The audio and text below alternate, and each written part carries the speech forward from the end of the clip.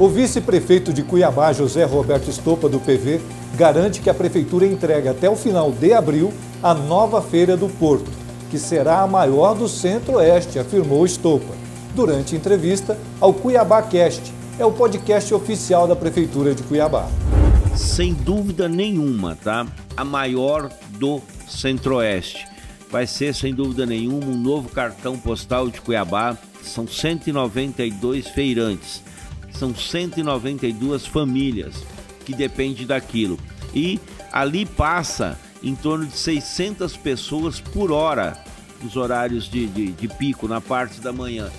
E a partir do final de abril, você vai frequentar a Feira do Porto com muito mais qualidade e ainda vai poder tomar um chopinho gelado com clima, com local climatizado, com local acessível, enfim, como deve ser. Os programas Ser Família e Ser Família Emergencial do governo de Mato Grosso estão deixando na mão centenas de famílias do estado em situação de vulnerabilidade social. É que a vencedora do pregão, a empresa Meu Vale, Gestão Administrativa, com sede no interior de São Paulo, deixou de repassar o dinheiro para a rede credenciada, ou seja, aos fornecedores, que agora se recusam a vender. O governo do estado já acionou a empresa na Justiça de Cuiabá, numa ação civil por descumprimento de cláusulas contratuais, com valor de causa atribuído em pouco mais de 17 milhões de reais.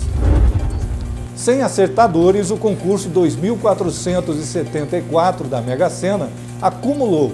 As dezenas sorteadas foram 22, 30, 38, 49 e 56. 27 apostadores acertaram cinco números, inclusive um é de Cuiabá, e vão levar pouco mais de 92 mil reais cada.